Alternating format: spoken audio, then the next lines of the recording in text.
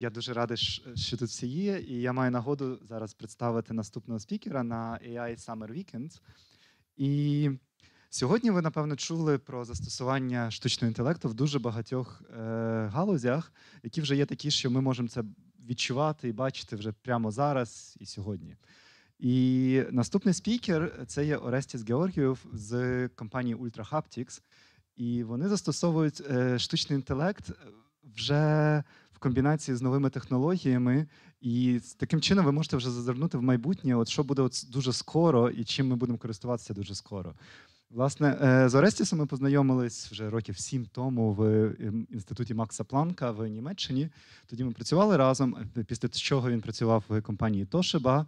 І від е, інженера-дослідника до старшого інженера-дослідника. І після чого він перейшов в компанію Ultra Haptics і допомагає цій компанії налагоджувати зв'язки і таку мережу співпраці в світі з академічними установами і з різними науковими групами.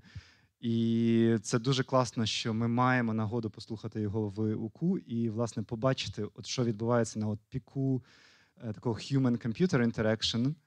І я дуже буду втішений, якщо це надихне е, студентів УКУ і також людей з поза меж УКУ долучитися до цього до цих досліджень і в академії, в індустрії, і навіть як хобі.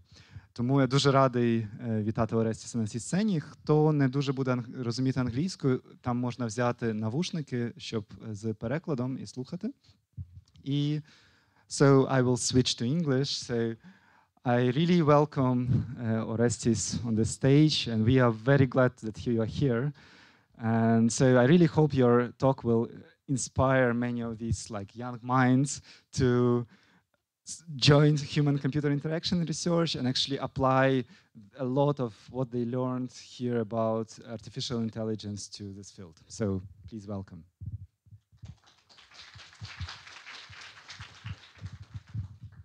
Um, thank you, Mikola, for the kind words. Thank you, Alexi, for organizing this and inviting me here. Uh, and really, thank you, everyone, for coming here to listen to me on a Saturday afternoon. Um, I'll be um, talking about my employer, Ultra Haptics. Uh, I'll be talking about touching the invisible and the emerging field of mid air haptics and HCI. HCI is human computer interaction. Um, do you prefer if I use the microphone shall I? I should use. Okay.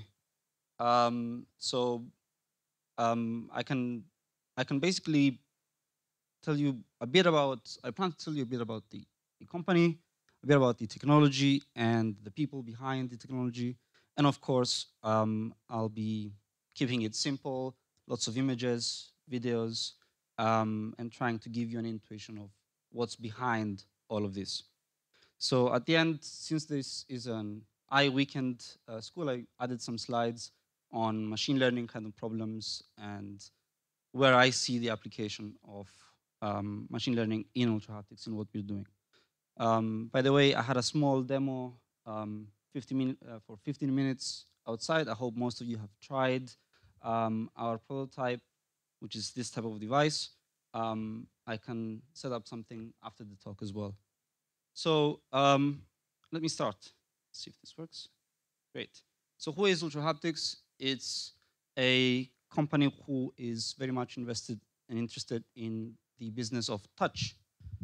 So touch is haptics, it's what we feel, um, and we're interested in the role of touch in user interfaces and user experience. It's a six, it's currently a 16 billion dollar industry, which is expected to triple by 2022, so four years from now. Um, so I will explain details about HCI and haptics a bit more um, uh, later on. Um, but for now, all you need to know is that we're in the business of touch and we use ultrasound. Ultrasound is just the same as sound, just higher frequencies. So it's beyond our hearing spectrum. It's what bats uh, used to communicate. It's what dolphins used to communicate. It's what we use to scan inside uh, our bodies, have mammograms, or um, uh, when we go to see our babies. So um, we have a very different use of this technology. We use ultrasound for touch and user interaction. So as a company, we offer technology, solutions, we offer services, and we try to create magical experiences. So a bit about the history of the company. Um, it was it's a spin-off company from University of Bristol, uh, Bristol in the UK. Um, those are the three founders: Tom, Shri, and Ben.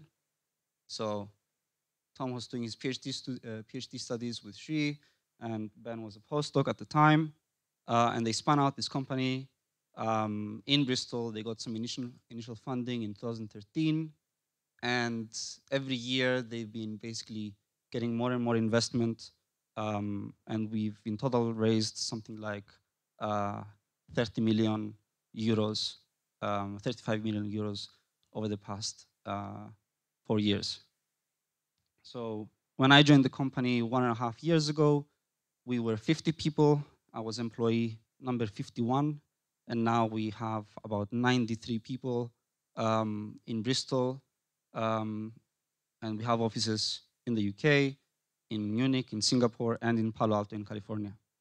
So we've been growing pretty fast, um, and we've done that mostly by working with uh, big brands, partners that believe in us and help us grow and demonstrate this amazing technology and its full potential. So you'll see lots of big names over there. Um, this picture over here is our first commercial product. So um, it's a gaming machine which offers a 4D experience. It's a three-dimensional screen plus the sense of touch. So whatever you see in the screen, you can reach out and touch it and feel it. Um, these are our some of our investors, the main investors that we have, um, who have believed in the team, um, and they have enabled us to assemble all these people, 91 people. What do we do?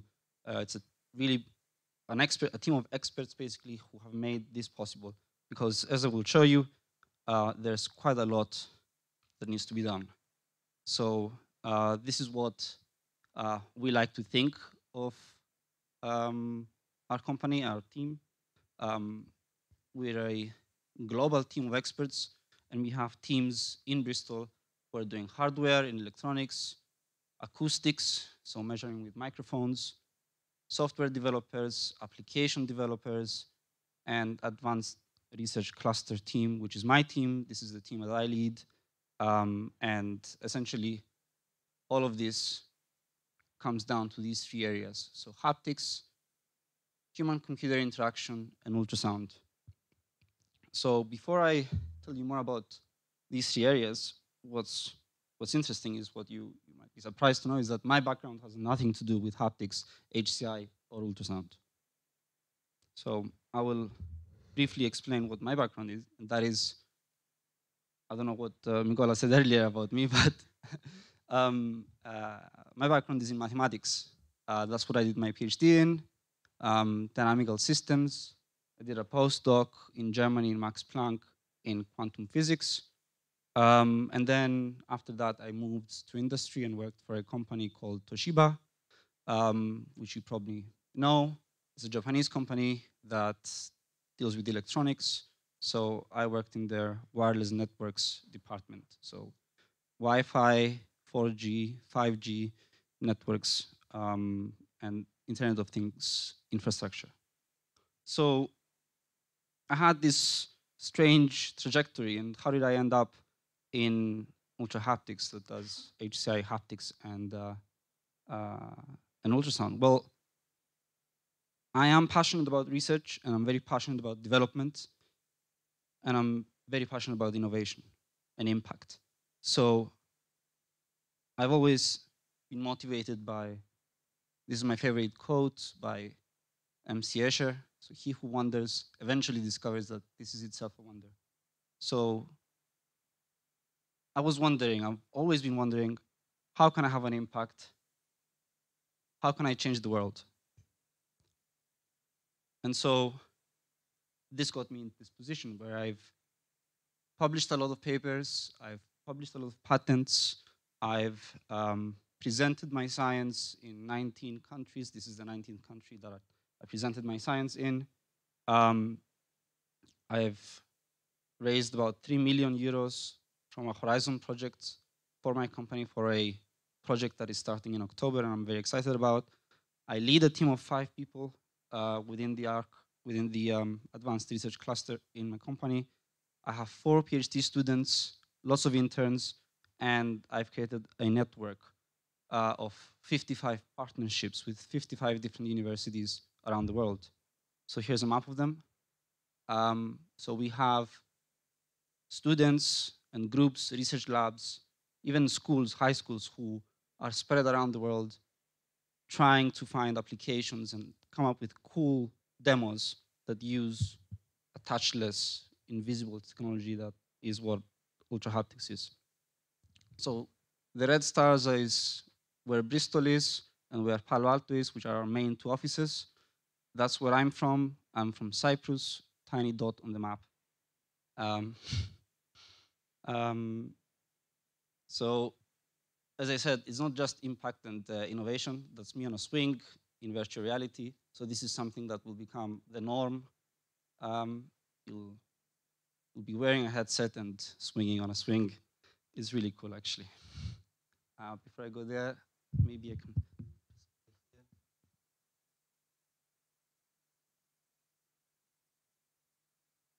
So that's interesting here. So I'm also doing a bit of climbing in virtual reality. So these are uh, pretty cool and quite interesting, uh, uh, fun examples of what you can do in virtual reality. And it's not just you know waving your hands in in thin air without touching anything. You can actually touch a real swing or a real climbing wall. This is not real, it's a Star Trooper. Um, but what we want to do in, in Ultra Haptics is we want to recreate the feeling of touch in a digital world. So two fundamental questions. What is HCI and what is haptics? So let's define it. In a very simple terms, it is the use of computers to design new interfaces between humans, the users, us, and computers. And an easy way of thinking about it is the how they are manifested in a input device. So traditionally, this has been a keyboard, a mouse, or a joystick controller. More recently, we have cameras like this one, or a webcam that we can interact with, voice command, hey Siri, touch screens that we can touch and interact with on our phones, tablets, everything. So what is the next step? Well, I think it will be embedded sensors and actuators. So these, everything is miniaturized, it becomes more and more invisible. So we won't actually have keyboards in the future, we won't actually have mouse pads, we won't actually have touchscreens. I think this is where we're going. So we have to prepare for this future. And something that we lose in this touchless and invisible future um, is the sense of touch. And touch is very important to us. It's the first thing that we learn when we, uh, when we are born. It's a combination of tactile and kinetics. It's something that um, is um, combination of things like contact, pressure, friction, textures, whilst kinetics is position, orientation, force. It's something that we have from proprioception of our muscles.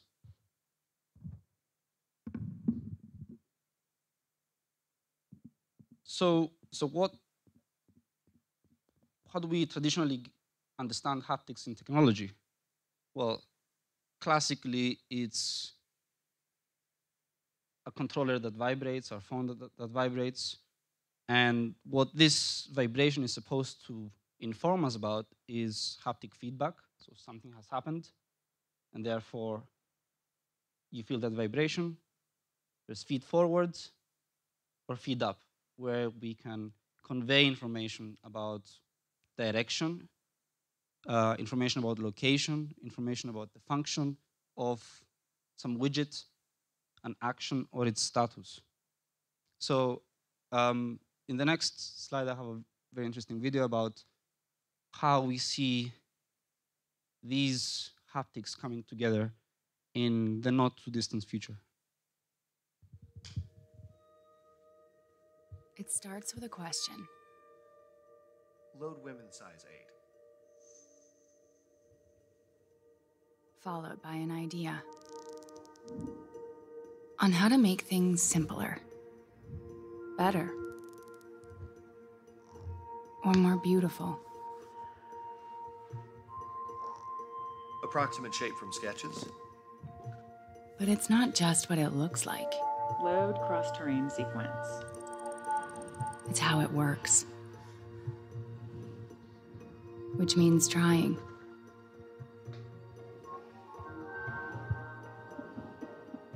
And failing. And trying again. To be a designer means not being bound by the limits of your tools, but instead Expand box. being inspired by them. Show me the upper. So that you can focus on what only you can do.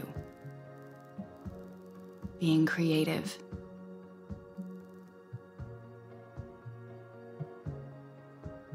Being curious.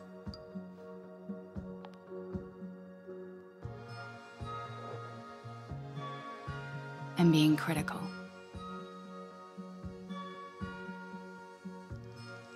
Exploring the union between function and form. Until suddenly you know.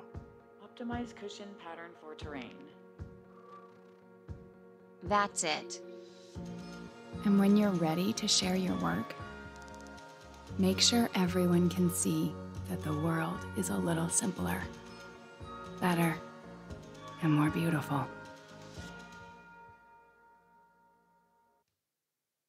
So in that concept video, there were quite a few technologies that almost already exist and we are quite familiar with in our daily lives. It's just that they all work together in synergy to produce something pretty amazing. And it may well be available to designers, content creators, um, educators, students. I mean, the potential of this is, is huge. So what kind of technologies were shown there? We had touchscreens, we had a stylus pen, we had a dial pack, you had an AR headset, voice command, there was embedded intelligence where the, the AI could respond to you and understand your, your, your input. Uh, there was network connectivity, there were three people working different parts of the world interacting with this digital content. Um, there was uh, a live optimization problem being solved on the fly. And right here, there is a hologram and there is ultra haptics. So this is one of our devices which can add the sense of touch to hologram um, objects, which could, for example, could be this shoe. So how does it work? So a lot of you were asking me earlier, how does it work? Here's how it works. You have a simplified view of small speakers. These are ultrasonic speakers, just like these ones. And they emit ultrasound waves at different times with different phases and different amplitudes. And they propagate and they collide at the same time with the same phase with maximum amplitude and through the principle of superposition, they amplify each other to create a high pressure point that you can feel. So not only can you do that um, for a single point, uh, but you can do it for multiple points all over the, all over the hand, and you, if you do it fast enough, you can close the loop and make a system. So ultrasound, a lot of you were asking earlier, is it dangerous? And uh, um, how do you use it? And is this ultrasound is used in many many applications. Uh, we use it in fact this is pretty much the same as a parking sensor that you have in your car to detect the distance from uh, uh, when, from the wall when you're parking. Dolphins use it bats use it we use it in medicine. So it's it's pretty much um, everywhere. Um, what we do is we we just take a lot of speakers. So two, in this example, we have 256 of, of these small speakers. So by combining 256 separate waves, these can we can create these sensations in thin air. So this is our first development kit that we released two and a half, maybe three years ago. This is the next generation, which is just a year ago. It was co-funded by the European Union. It's a bit smaller, but um, does the job equally well. So this is pretty much how it works. Let's try and visualize it. So it's blasting, focusing ultrasound onto the hand, but that's not enough. What you need to do is you also need to blink it on and off at a particular frequency that our senses can feel small vibration, vibrations. So let's have a closer look at it. If you use some um, liquid nitrogen, for example, you can view, you can, you can see the distribution of ultrasound and how it's reflected, let's say. So you can see these fringes. So this is where the waves capture some of those dust particles. What you can also do is, since we're creating disturbances in the air of high and low pressure, we can change the refractive index of the air, which means we can bend light. And if the light is bent, it means that we can, we can see the amplitude of a focus. So what is happening here is lots of waves are meeting and colliding in this space. And so that's, that's a maximum focus state. That is, that is what you would feel as a, a concentration of acoustic area, uh, acoustic energy. There are many different ways of visualizing this. I have two videos here. So here's a state which is moving left and right. This is the center of it. Here is being reflected of a piece of wood. Um, and what I will demonstrate here is that, um, I don't know which hand is that, but there's a hand coming in, there's a hand, and you can kind of see um, how everything is reflected off the hand. So nothing is actually being absorbed into the body. What is actually happening is that you're feeling something that is just reflecting and bouncing off of the skin. Now, as I said, we can create single point, two points, three points, make multiple points and move them around in space. So if we point this device onto a bath of, of water, we can software program it to draw out some shapes. So here are three focus states, which are making shapes a circle, a square, and a triangle. So these are fundamental graphics objects, which means that we can create graphics onto the skin, changing the size and the combination of these objects, you can reconstruct three-dimensional objects. So for example, if we take a sphere and cut it in two, what do you have? You have a circle. So as we cut through a sphere, we feel a circle. As we cut through a cube, we feel a square. And if we, as we cut through a pyramid, we feel a prism, we feel a triangle. So these are fundamental shapes that we can use to recreate three-dimensional objects.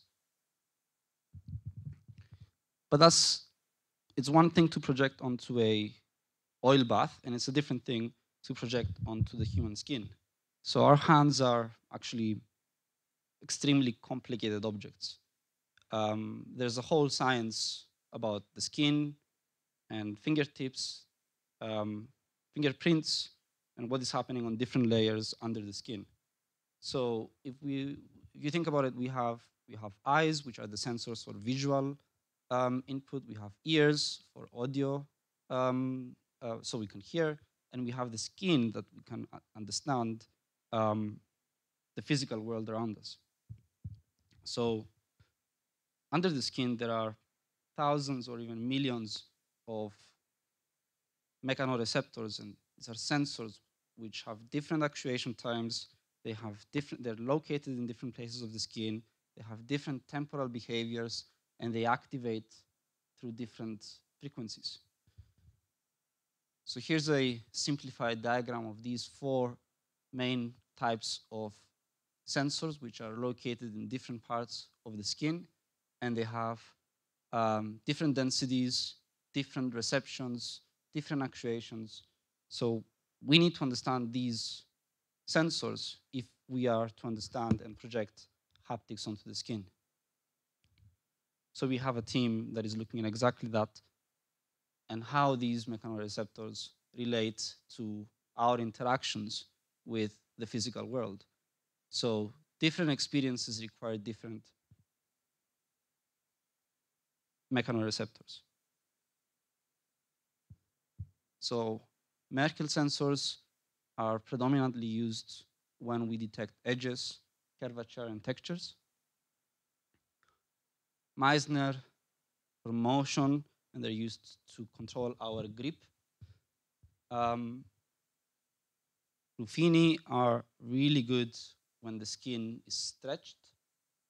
And finally, the Pacinian is feeling through objects. So we detect um, uh, vibrations which may happen at the object or even at a distance. So um, when we touch an object, a lot of things happen on the skin. And small waves propagate through the skin and distributed through the whole, the whole hand. So maybe I can do a small experiment with the audience. Um, can you um, touch your ear with this part of your hand so it covers up? And then.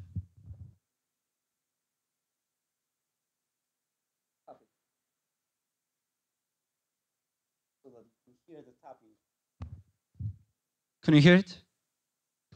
So that proves that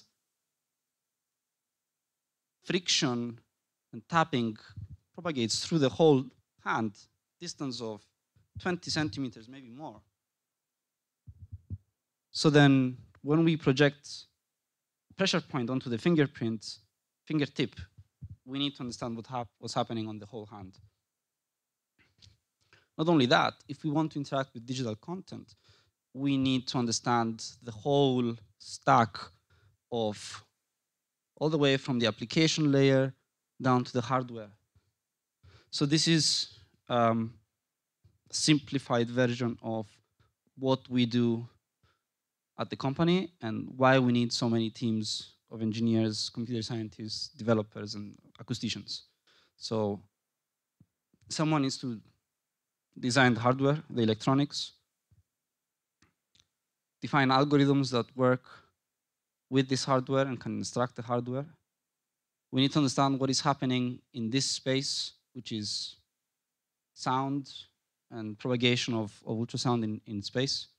We need a software development kit so that we can give instructions to the hardware. We need an API, which is an easy int intro into this SDK. And then we create virtual objects like circles, spheres, cubes, triangles in air, somewhere over here, possibly a button, for example, a virtual button. But then actually we need to understand what is happening on the skin because the skin needs to detect that virtual object and infer that, yes, that is a circle or that is a square or that is a button. And then we need to build an application, an interface, an app that will control all of this, recreate this virtual button, and then we need to think about the user experience because if, it, if the user doesn't like it, we failed.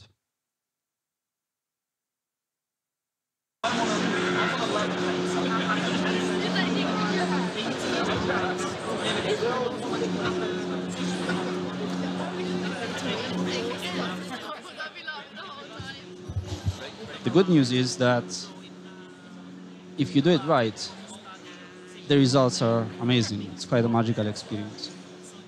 So, if all those layers come together and work,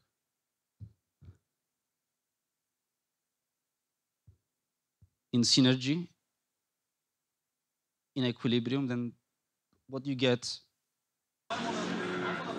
is super exciting. So you can see how, um, coupled with audio-visual feedback, you can create super exciting interest in technology. So um, something really important that is drives everything that we do is the, the principles by which we design these experiences, these magical experiences. So we've come up with there's many principles for these design um, um, design laws, and I am only going to present try to summarize them in these five. Oh, I didn't see that. Sorry.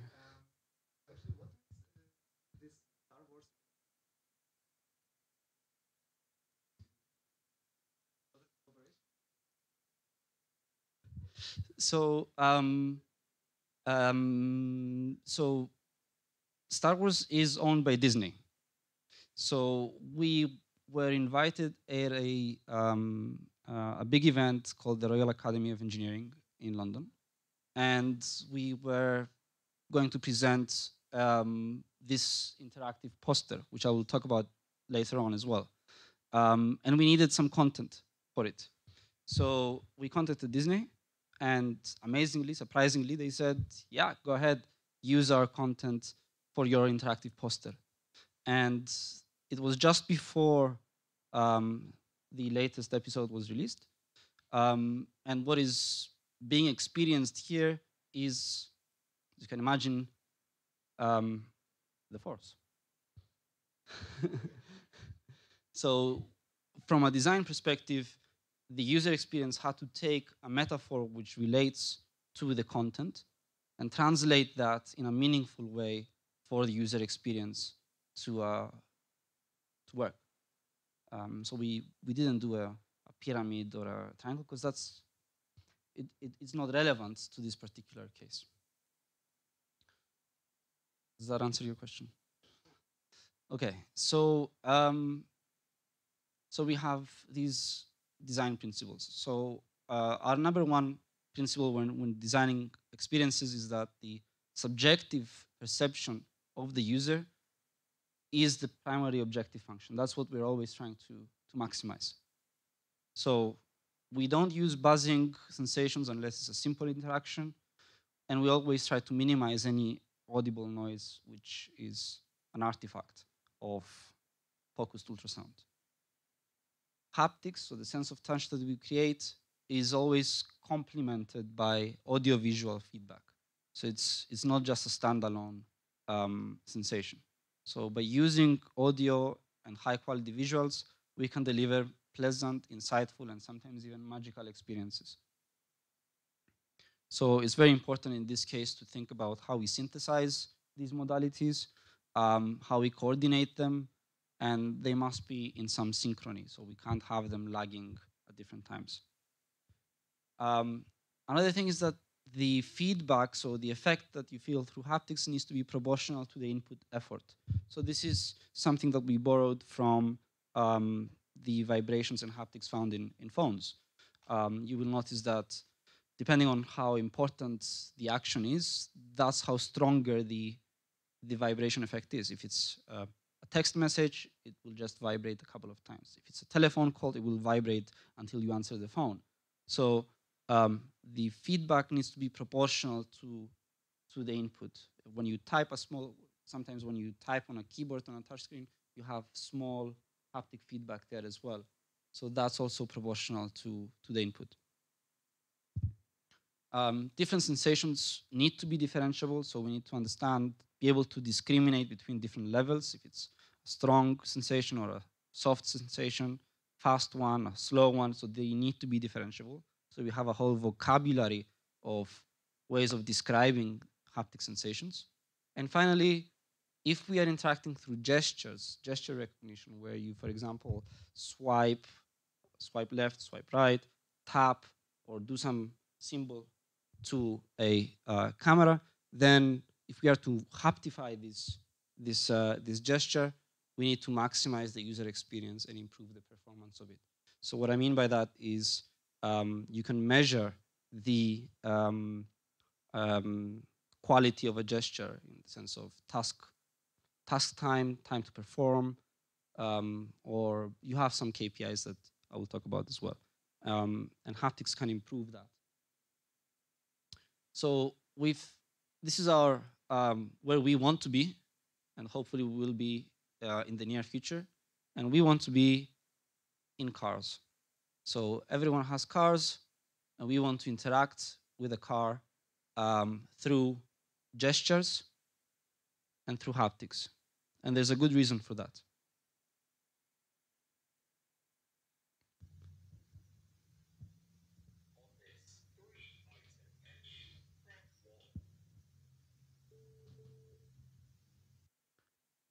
So what you saw there is a study that we're running with the University of Nottingham. It's just completed actually.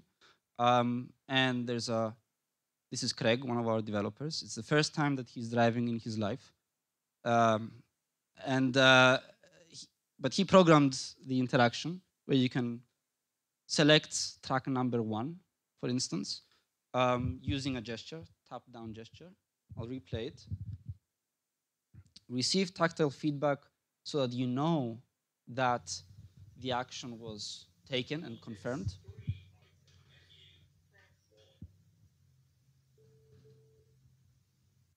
So what's important there is that he completed the task, but really what's really important is what he didn't do. And that is he didn't look at the screen. He kept his eyes on the road. On this three item menu, press 3.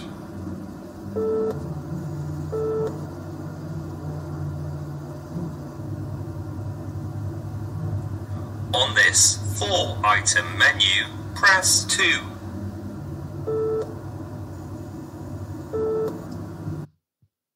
So again, what this lady managed to do there is interact with a fairly simple, well, average complicated menu user interface through the sense of touch alone without taking her eyes off the road. And this is really important um, because within the automotive industry, even though we have all this technology, all these cruise control, all these sensors, the number of deaths on the, on the road has actually started to go up.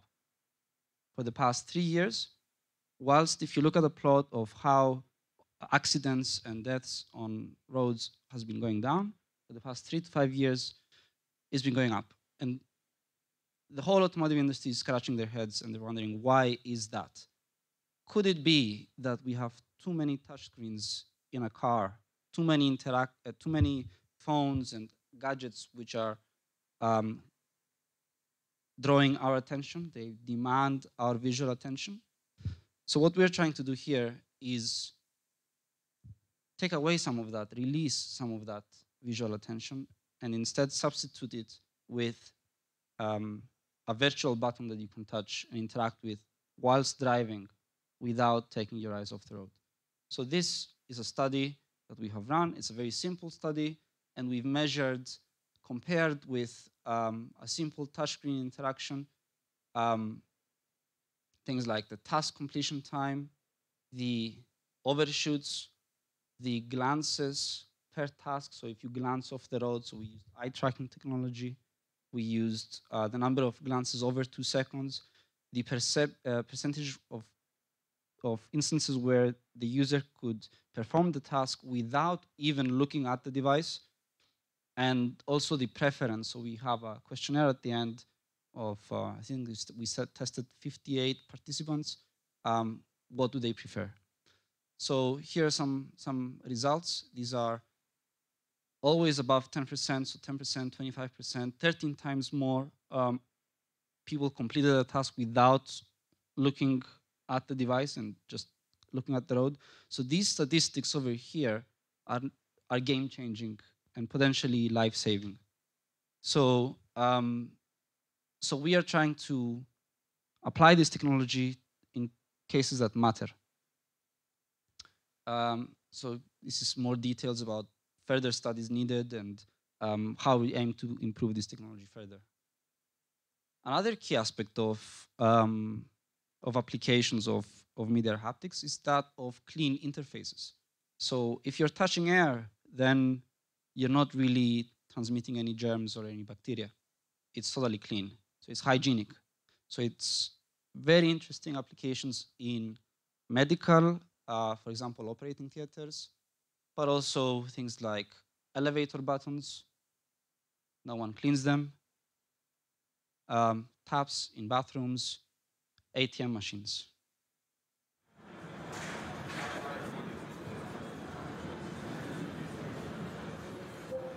It's a virtual keypad.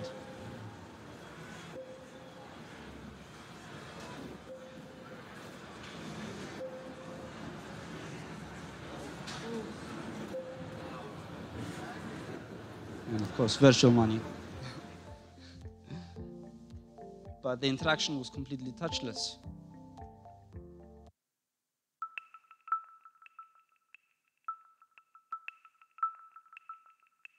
This is a gaming um, application. It's a VR game that we uh, did last year.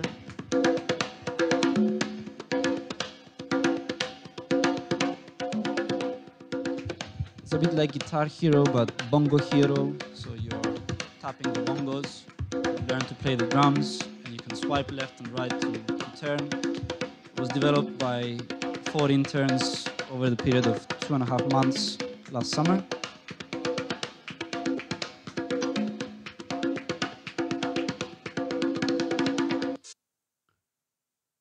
And now coming back to interactive posters that you were talking to me about, um, asking about. So digital brands are trying to engage with us consumers all the time. They have posters, they have ads on Facebook. They're trying to grasp your attention and really sell you the idea of this is my brand. So they do that usually through visual inputs and also sometimes through audio inputs. So there are some sounds which we associate with adverts that we see on TV, for example. Um, more recently, brands, big names, they want to engage with us in a different way, and that is through the sense of touch. So we can imagine interactive posters that you go to the cinema, let's say, to see your favorite favorite movie. You buy your popcorn, and as you're waiting in the queue to enter the the movie, you can interact with piece of content such as the one we had earlier. You can gamify that experience, and not only can you interact with it, but you can have a connection with this with, with that brand, with that content that you can feel. It doesn't have to be um, again, it doesn't have to be something super complicated. It's just the user experience and the content and the metaphor that you are using. But within our company, we also like to be a bit crazy and think about further in the future where we may not, well, we already don't have wires, we're quite wireless, we live in a wireless age. Uh, in the future, we might be uh, screenless, so we might get rid of all the screens. Why not? We can do that already with augmented reality headsets, things like Google Glass, Meta, HoloLens, and a large number of other players entering the, the space where we can have digital content on glasses. So we overlay content that we see onto the real world. So this is the space of augmented reality. And so not only can we see that content, but we can interact with it as well. So this might have applications in simulating digital objects. Before you 3D print them, you can actually ultrasound, ultra haptify them. Um, but going beyond the concept of integrating this technology with existing technology um, or new technology, we have to think about, um, again, new experiences. How can we augment the world around us? So we can, for example, think about um, a traditional interface like these three buttons, but then we can augment the space above them. So this is work by the University of Colorado Boulder, um, where they can indicate to a user the location of these buttons before they're actually touched. So you can put your hand out and you can feel where these three buttons are before you actually touch the button. You can then embed some sort of functionality. So this button is a dial that rotates. This button is something that, I don't know, comes up and down. Um, and this does something else. And you can also instill the, the state of that button. So you could instill, say, a volume or um, all sorts of information that you can put into this into this physical world. So you are augmenting the physical world. So this is an investigation which is ongoing. This is another investigation which is ongoing uh, in Krakow University, um, University of Science and Technology in Krakow, uh, where you have a map of um, of campus of the university campus. It's an MSc project actually, and Joanna over here has developed a demo where um, blind people or, or visually impaired people can um, interact with this map, navigate the map, feel where the um, points of interest are within, within, within the campus. Again, work in progress.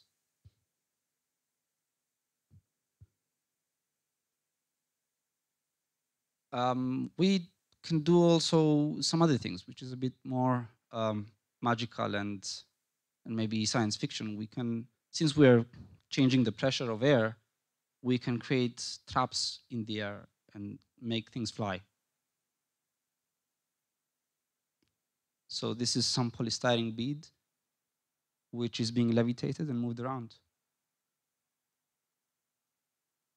It's actually flying and you can touch it. So it's a tangible interface.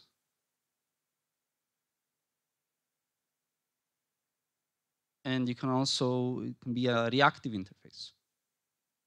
So this is the same tracking technology that we use in all other demos. Um, the user tells it to do something. And if you notice here, this bead will just replay the command. So these are different interfaces that we're thinking about um, beyond haptics. What can we do with ultrasound?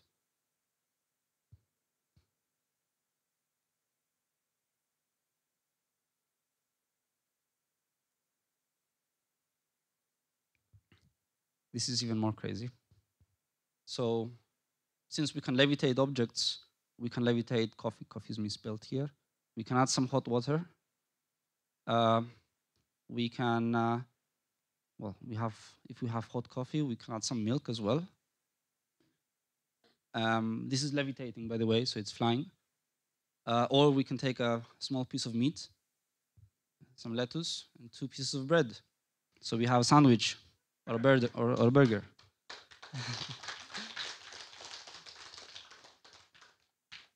so this attracted a lot of attention actually um, in different magazines and journals in the UK.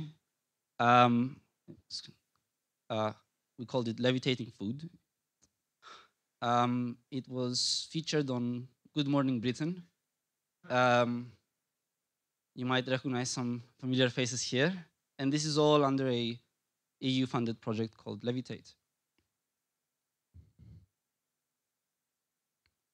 So in summary, um, I've briefly discussed ultrahaptics vision for the future of human-computer interaction.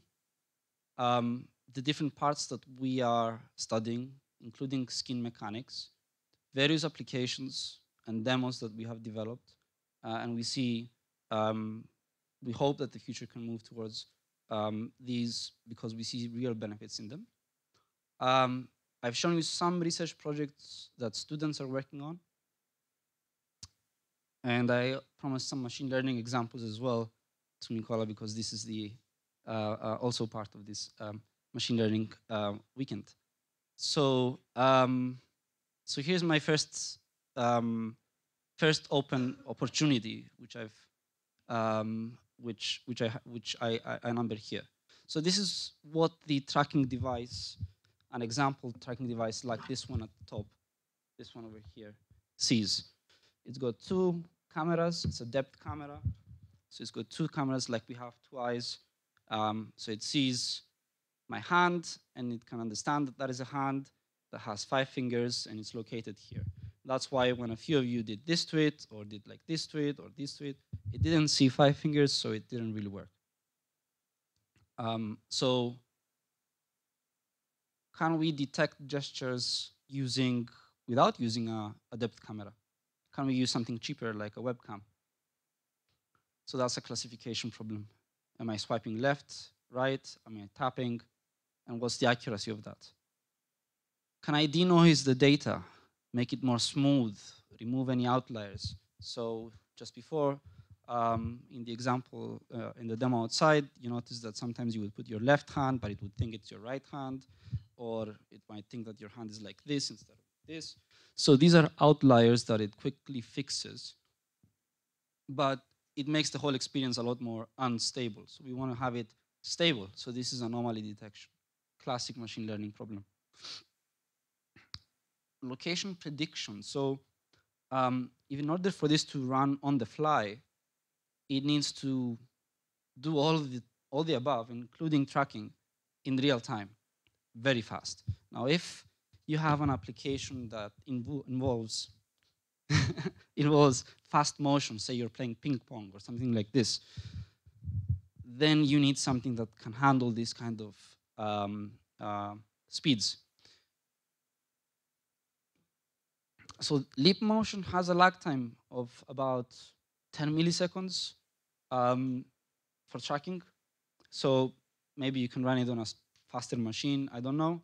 But for, for haptics, um, it's really, you don't really need to have a faster tracking. Instead, what you could do is you could predict where the hand is going. So you can predict that it's, it's going to be there because it's predictable. Uh, and you have the data already, so because you know where it's going to be one 10 milliseconds later. So you can use that data in a reinforcement type of learning to um, um, to just detect where the hand will be in the future. And so if you factor in the 10 millisecond lag time of the leap motion, and also the lag time of sound propagation, because we know that sound propagates quite fast, but not super fast. If you think about lightning, we see lightning and then we hear it. So there is, it's propagating at not that fast speed, at the scales of milliseconds. There was a question?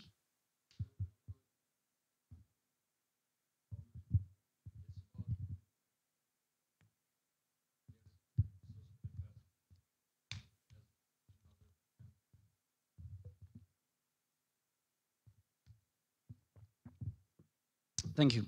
Um, there are many algorithms to, to, to, improve, to improve this, so we're always interested in, it's not our core business, but we rely on, on hand tracking, obviously, and we rely on particular aspects of hand tracking, namely accuracy, speed, cost. Um, is, if this is ever to be deployed in a commercial product, it has to be cheap. Um, so hidden states is when you try to predict the state of a finger that is not visible. So, you know, what, what is this finger doing? Where is it exactly? Where is my thumb? It's hidden, you can't see it. But a machine that can analyze the whole hand perhaps can predict where that hidden finger is approximately. And that is important if we want to then haptify it. Okay, this is a bit more abstract, so um, I only put that together uh, an hour ago, so a couple of hours ago. So we have this stack of applications, the whole everything that needs to work, um, and a lot of this is computer generated. So it's it runs on a on a processor. So can we abstract these models instead of knowing exactly what is happening on the skin which is a very complex system, can we make it a black box learn its properties and just treat it like that. Can we do the same for um, the acoustics and the algorithms, which are closer to the metal, and treat that as a black box? Can we combine this into super black box that we then correlate all the way from the user experience to the hardware so that it's completely agnostic? So if I just say I want to have an experience of a button click and the hardware does it. So uh, just to finish this presentation off, I hope I'm on time. Uh, this is our latest development kit, which is available. Uh, it's faster, it's scalable, it's compatible with ARM chips, Arduinos, everything, Linux. It's embedded, so everything is happening on an FPGA, which is embedded behind this uh, device, so no processing required.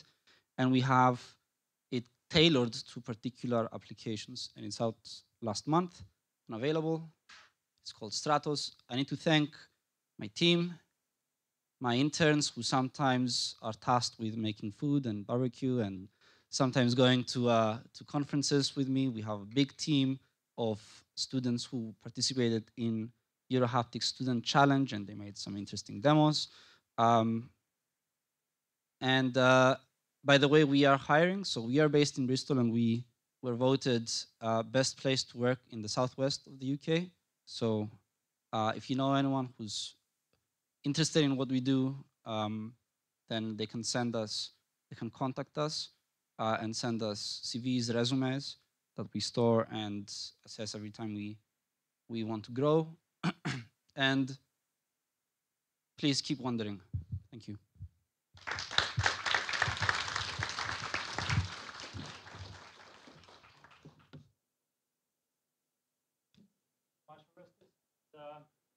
Now We'll start some uh, question answering session, right? But uh, our translator will go, so uh, guys, we will talk only English for, from this moment. So, questions? I will bring you mic, okay? Please. Uh, Uh, thank you for the presentation. Uh, my question is, how far is this uh, technology from the feeling of uh, a solid uh, touch from the user experience? Thank you for the question. Um, it's not close to the sense of force feedback. So um, this technology is mostly focusing on vibrotactile haptic feedback, which are things that happen on the skin level. So I had a slide where it broke haptics into two, tactile and kinesthetics. Kinesthetics was larger objects, muscle objects, so force feedback is something that you always feel on the level of muscles. Uh, so at your elbow or up in the shoulder. So this technology does not create forces big enough that would push the hand back. Um, that would be very energy inefficient because at the end we're just using sound. Um, instead, it's subtle haptics, subtle sensations which are enough um, for us to detect, perceive, and also understand various functions of it. And that's where we are. Okay, and uh, one more question. Uh, is it possible now to have the, the pressure in some uh, particular point? So, for example, you can feel it like uh, from above and from um, like below thank you for the question. Uh, the I guess the question is um, when you have a panel like this one, um, you won't be able to feel anything on the back, right? So it's directional. So just like um, you have a spotlight, spotlight only shines light in one direction. Similarly with this one. So if you want to have a more three-dimensional experience where you feel something from above and from below, um, what you can do is you can use two of these, one below and one above, and synchronize them, network them together so that they can create a full three-dimensional object. And you don't need too much, just one above and below.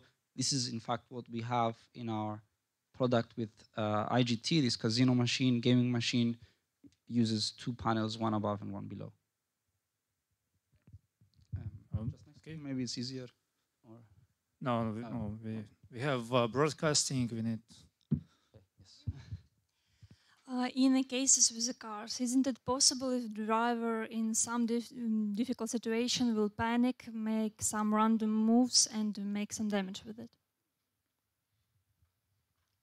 Well, uh, it's possible always for that to happen.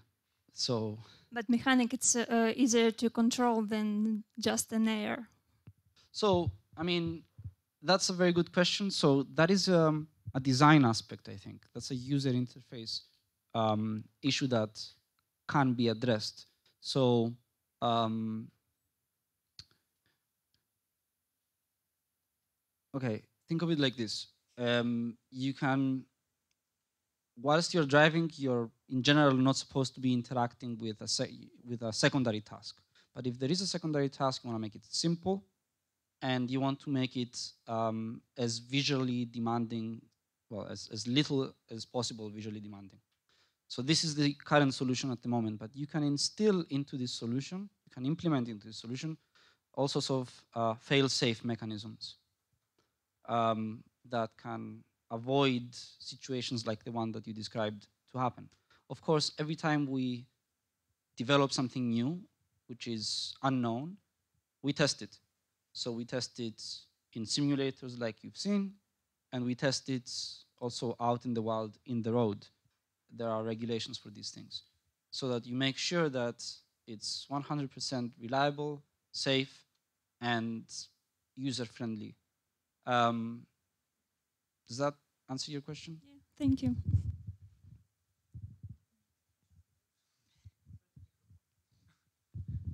Thank you for all the questions.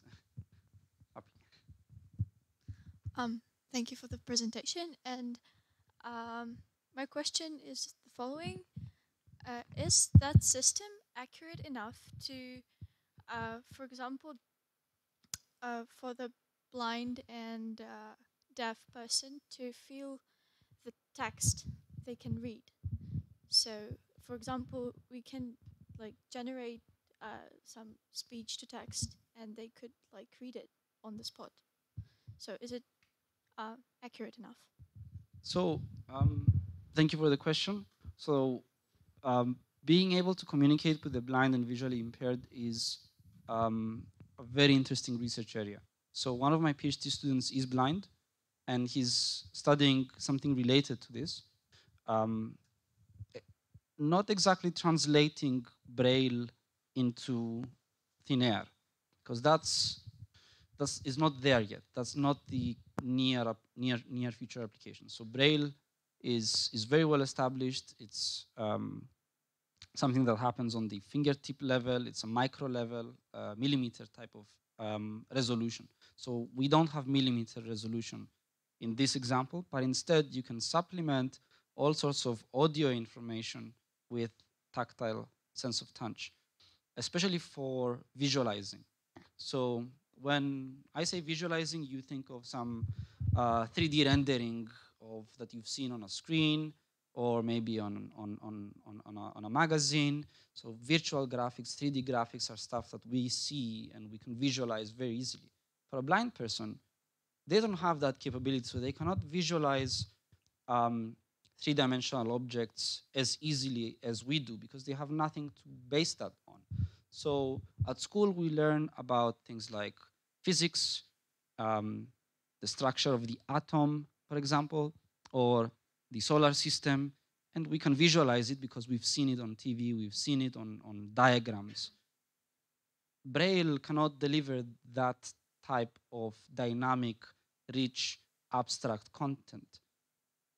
Here you can. So you can feel this, you can interact with it, you can feel an object which might be a planet or the motion of planets. Um, so you can help visualize these objects through the sense of touch without the visual component.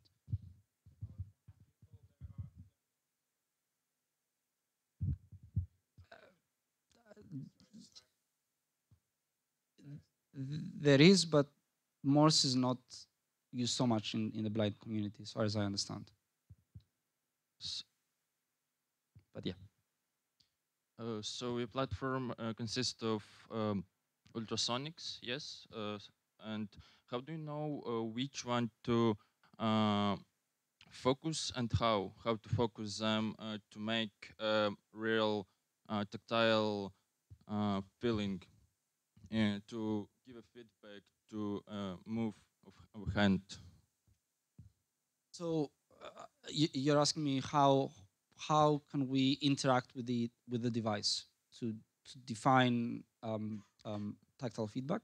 Mm, I mean, have um, in your uh, platform, how does it know uh, which uh, sonics uh, it uh, turns on and in which direction? Okay. Um, so the algorithm that is used to um, invert the problem. So we tell it, okay, here is a hand, here is a fingertip. Which of these sensors need, need to activate in order for haptics to be felt on the fingertip? That's a linear problem that you use linear algebra, you invert the matrix, you solve this, the solution of this, which is essentially the time of flight of these spherical waves needed for them to collide onto that single point.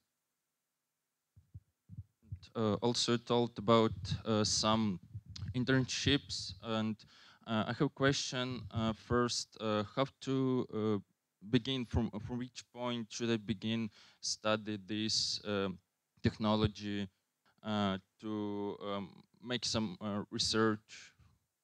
So uh, I think the it's it's a it's a really good question. So how do you start working with Ultrahaptics and um, how can you um, join our inter- in- internship programs?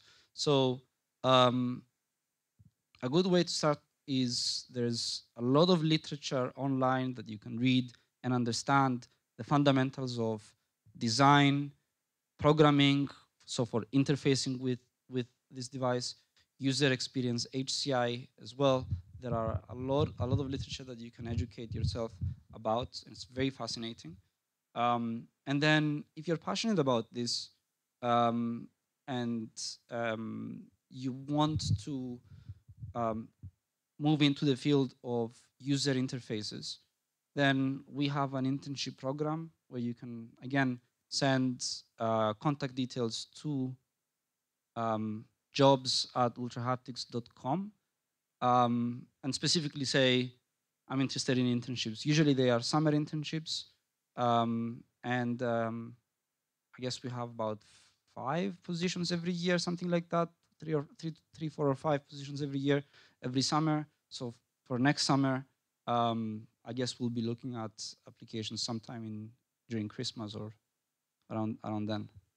So the literature is on the website ultrahaptics.com. There is literature on the website. There is a website about um, our academic program where um, we have small blogs which are kind of bite-sized information about what was the problem, how we solved it, and then we link to the full 10-page or so on academic paper that has all the details. Thank you very much.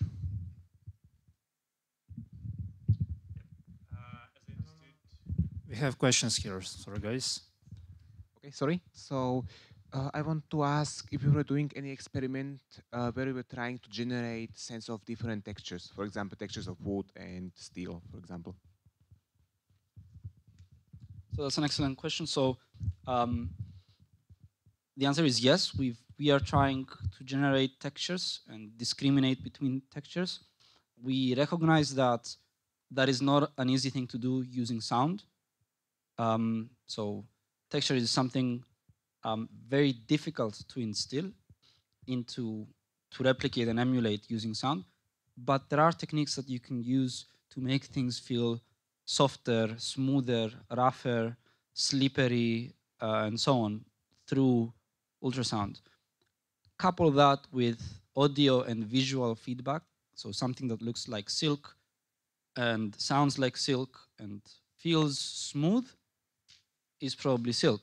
So you will be able to discriminate between these silk and maybe uh, denim or like jeans. Um, so this is an investigation that is currently happening. Thanks. Thank you.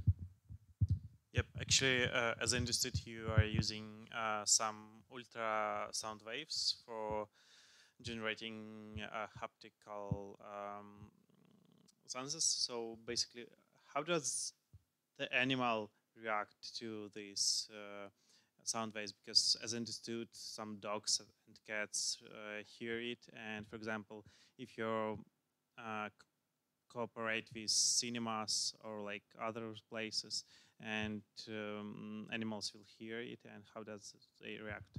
It's a very good question. So um, we have there is um there is a diagram that shows the frequency ranges of different animals.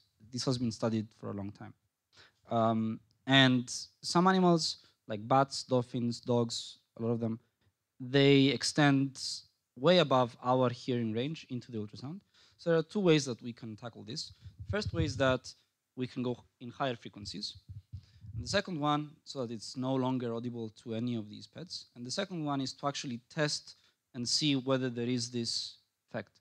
And we have tested. So we have a project uh, internally where we test with, um, uh, we've tried out, we have dogs and pets that come into the office as well.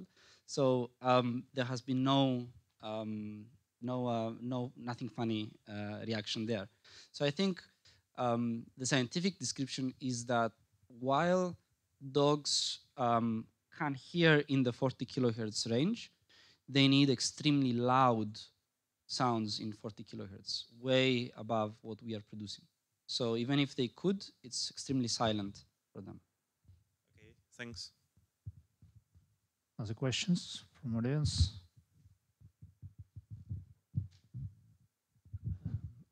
one question. Uh, could your device uh, recognize how many fingers uh, are bended on the hand?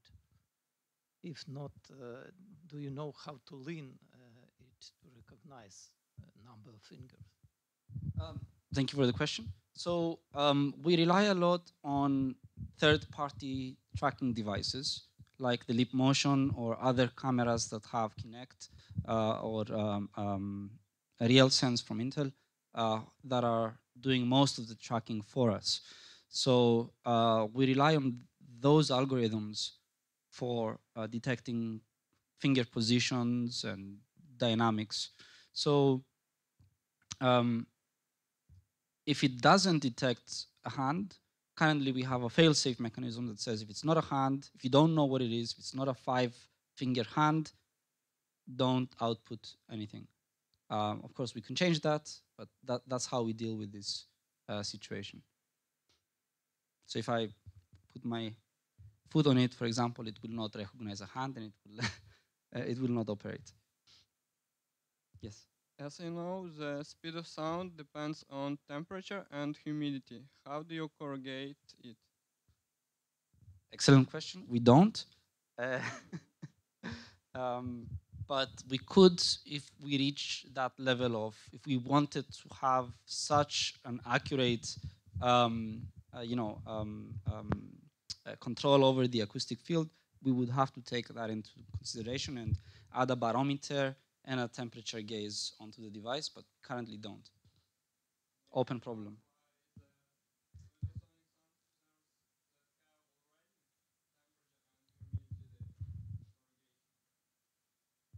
Uh, they're more expensive.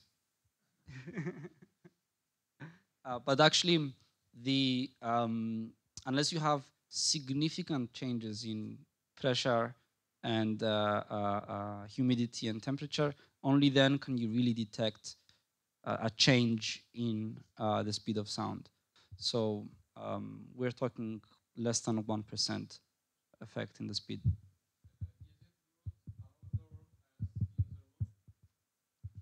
Yes, it's the, the same.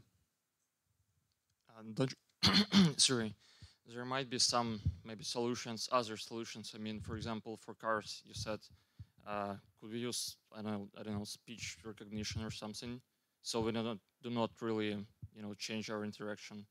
Or you said a lot about uh, VR. So let's, for example, say about gaming. And have you seen Ready Player One? So I mean, they had some kind of outfits. I don't know. Is there might be um, you know a case? Can it be a case? Sorry. So thank you for the question. Um, there is there are many technologies at the moment which is very exciting actually. The fact that we have so many different ways of actuating haptics visuals audio is not just a screen and a a keyboard anymore. There are so many. There's a a whole zoo of devices and objects that can um, can be used as an input device. Um, and I don't think that there will be one particular one that will dominate them all. Um, different applications, different user tastes and preferences, um, different costs will define what devices and what hardware and what software of embedded actuators and sensors will be found in different applications. So um, in Ready Player One, they're wearing some sort of haptic gloves, kind of which are gloves and being tracked, the suit, the whole armor suit. So this is more and more hardware equipment that you need to wear, have a small, medium, large, extra large size, different dimensions. Um, you need to wash it, you need to clean it. If it breaks, you need to get a new one, etc., etc.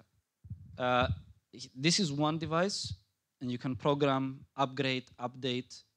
It's software, and it's a 3D haptic device, but it doesn't give you force feedback, as I explained earlier. Um, in in vehicles, we have voice control. Open the window, and voice control goes out the window, because you have wind, and you know if you have in a open top cabrio car, try try talking to your to your audio system then. You. So, uh, okay, question. Uh, so, you develop and your team develop commercial platform? Uh, do you know uh, any uh, resources with open source platform in this area? Excellent question. So at the moment, the um, our company is quite young. It's three, four, four years old. So everything that we have developed internally, we've sought to protect, um, protect our IP and protect the designs of the electronics and so on, so that we can grow fast and attract investment. And that's what we've done. We're now reaching a stage where we want more and more developers to get involved and use this device and, and interact with it, come up with their own um, imaginative, ima- uh, creative uh, uh, solutions. And so um, open source solutions are a consideration. Uh, at the moment, I'm not aware of anything which you can found, find on, on GitHub or something like this.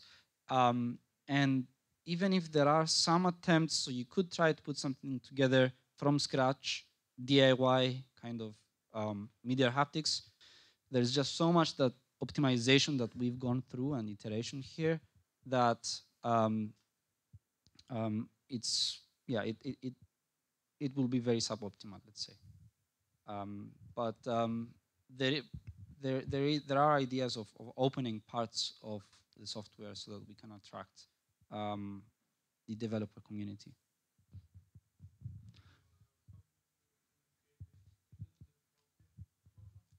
So um, we work with a lot of universities, and and um, um, um, what we do is we build relationships with these departments, usually through um, permanent staff, professors, and uh, lecturers who are responsible for the hardware and the software, and they make this available in an open kind of manner for research purposes under special licenses for them to research and teach um, uh, haptics and HCI using ultrasound. Two more questions, and uh, we end. Uh, okay. Uh, I think that if you want to implement uh, your technology in uh, cars, uh, you must uh, do this very quickly because we know that cars became uh, self-driving. But my um, my question is about: Is it possible that your device helped not only for the blind people, but for people who has insult in mind, uh, um, if because uh, the physical rehabilitation of uh, uh, of uh, insulted people is the rehabilitation um, connection uh, mind with sensors and um, this um, help us to to have sense um, by, with your device excellent, excellent comment and questions. So, uh, automotive vehicles is the future. It's happening sooner than, than we think it is. Uh, so, self-driving cars is very big topic of, of research. Um, but no one can predict that. What I so I can't predict exactly how autonomous, how self-driving uh, cars will be. Um, what we are sure about as a company is that um, there will always be an interface. There will be a need for users to interface with the car. It's not like you will enter the car and the car will start driving. You have to interact with it somehow. So that interface, whatever it is, could be embedded, most likely will be embedded, and therefore fairly invisible that you can interact with it through a natural gesture um, scenario. So this is what we are envisioning. So that's where we see us ourselves fitting haptics there. Regarding your question, um, that's an excellent question. So rehabilitation, medical rehabilitation is um, a very challenging field. It's not something that we have expertise in uh, directly, but it's something that we've identified as an area where if someone loses dexterity or motion in their hands for some reason, it could be stroke, for example, so um, or it could be some um, degenerate uh, pathological or some, some other disease. Um, regaining uh, through uh, physical exercise um, and physiotherapy the sense of dexterity, motion, um, can be amplified, I think, uh, or sped up, make, make the recovery faster by having feedback and gamifying the experience of, of touching objects like this. So the example we had with this Bongo Hero, for example, um, some students a couple of months ago developed a guitar hero example where uh, you would have your hand like this, rested on some pedestal, and you would see kind of notes come in on a note highway, and you would touch them as if you're playing the piano, let's say. Um, and you would get a score at the end every time you do it correctly. Um, so in this example, everything was calibrated such that people who have reduced motion, so they can't completely close, close their finger, so perhaps they can only go this far. It was first calibrated such that uh, that was the maximum bending that they could afford or achieve. And then through the game, every time they completed a full motion, they would get a score point system. So in this kind of game environment, it was applied to um, a gesture, rehabilitation, um, uh, physiotherapy uh, example with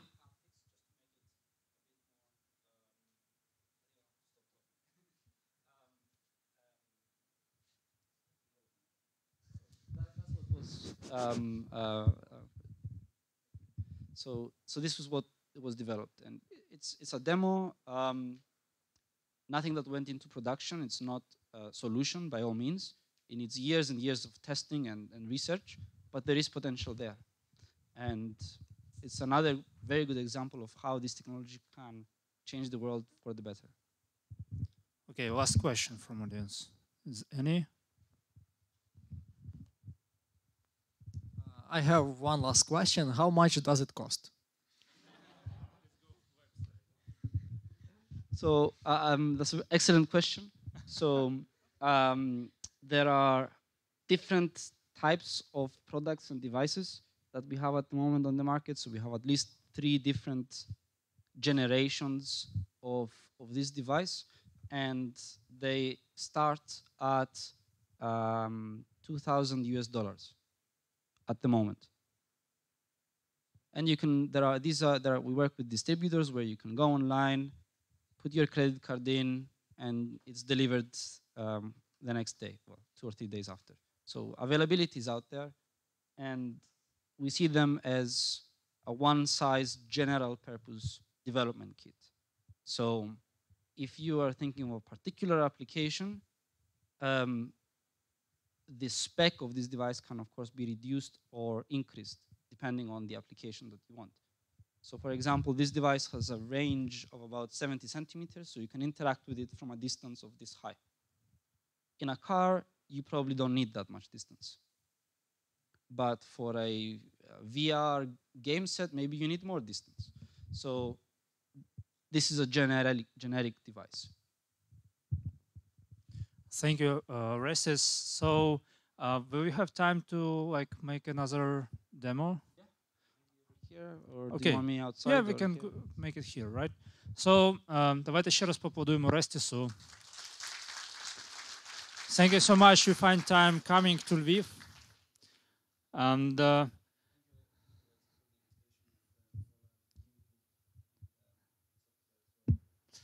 а, дякую. Отже, е, ми чекаємо вас завтра.